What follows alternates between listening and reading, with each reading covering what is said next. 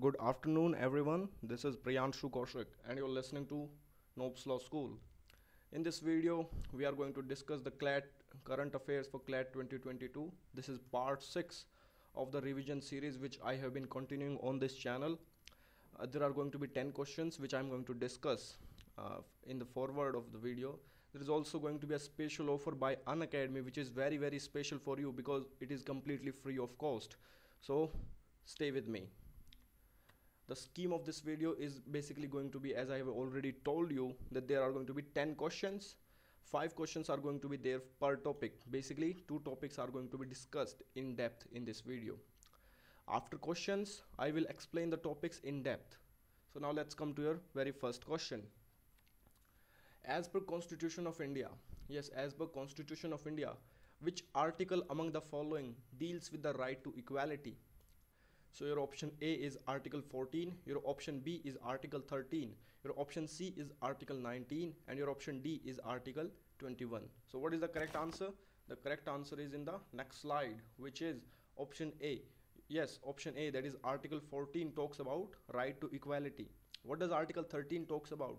Article 13 talks about uh, basically all those laws which are you know made against the provisions of fundamental rights. Yes your fundamental rights if any law is passed by parliament which is in contravention of your fundamental rights then it is to be declared as void. It is to be considered as void.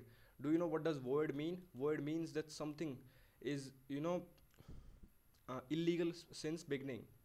Now let's talk about article 19 what does article 19 talks about? Article 19 is about freedom of speech and expression. What is article 21 article 21 is right to life. So your right to life is article 21 now let's go back to next question. Who is the current chairman of lci so what is lci boys? Lci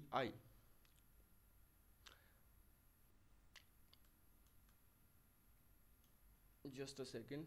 Uh, there's some issue with my mouse so what is LCI? LCI is Law Commission of India. So who is the ch current chairman of LCI? That is Law Commission of India. Option A Justice B.S. Mishra. Option B Justice B.S. Chauhan. Option C Justice U.U. Lalit. And option D none of the above. So what is the correct answer? The correct answer is of course option B which is in the next slide. So option B that is Justice B.S. Chauhan is the current chairman of Law Commission of India at present we have the 21st yes 21st law commission. At present we have the 21st law commission which is working for us. Now let's now before moving forward i would like to introduce you to unacademy's very very great offer for you all people. All those people who are going to give CLAT 2022 on which is scheduled on 19th june right so only very few days are left for your exam. And unacademy has came up with a very very free mock test offer for you. So there are going to be two mock tests conducted by unacademy first is going to be held on 12th june and next is going to be held on 16th june for on sunday and thursday. Both are going to be scheduled at you know 2 pm what is the best thing about this offer is that it is completely free of cost. Yes these mock tests are completely free. You do not have to pay anything. All you have to do is to use my code that is THRINATH Trinath 10 if you use this code you will unlock this mock test for completely free without paying anything. That is it for the you know this is the final mock test for your CLAT 2020 aspirants. Even if you are not giving CLAT 2022 even then you should you know take benefit of these free mock tests. Mock tests are very great in order to assess your understanding where do you stand in the you know the where what is your expected rank. Now let's come back to the video again. Cause your question next question is as per hindu law who is the natural guardian of a minor child? So according to hindu law who is the natural guardian. What is the natural guardian? Natural guardian is someone who is you know who has the custody of the child by the fact of his nature you know his understanding with the child. So is that option a is mother option b is father option c is grandparents with preference to grandfather option d is none of the above. What is the correct answer? The correct answer is of course option b that is father so hindu law accords a little bit of supremacy to the father. If the child is below the age of 5 years if the child is below the age of 5 years father uh, generally mother is considered as you know the sole guardian of the child. But if the child is above 5 years father is given a bit bit of preference as in comparison to mother in terms of natural guardianship in the under hindu law your next question is in which year tax rules in which year tax rules 1962 were amended by cbdt what is cbdt it is central board of uh,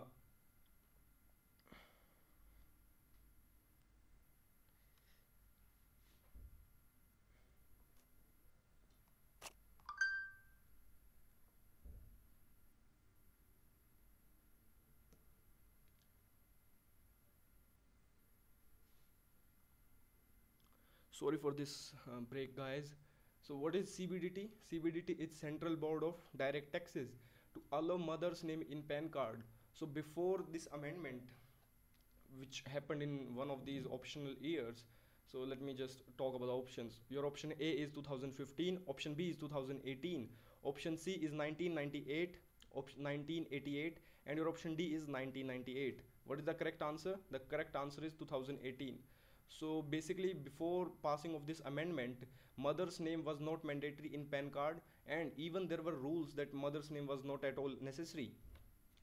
Last question of this uh, topic. As per islamic law if the child is below the age of 7 years yes as per islamic law if the child is below the age of 7 years who has the right over its custody? Your option a is mother option b is father option c grandparents with preference to grandmother option d with gra- again grandparents with preference to grandfather. The correct answer is of course mother. Uh, if the child is below the age of 7 years as per islamic law mother has the right of, of sole custody over the child. Now let's talk about guardianship and issues which has been in great news since the amendment part. So recently a pil that is uh, public interest litigation in madras high court sought that all documents must also require the mother's name to be mentioned along with father in the recent past there have been changes to the rules for passport and and permanent account number. What is permanent account number? This is your the full form of pan. So cards that allow an applicants to furnish their mother's name if she is a single parent. So up till now single parentship of mothers was not acceptable to the society but things are changing. So uh, let's talk about the passport part. In december 2016 the ministry of external affairs liberalized its rules for issuance of passport and took a number of steps. Let's talk about guardianship under hindu laws. So uh, hindu minority and guardianship act.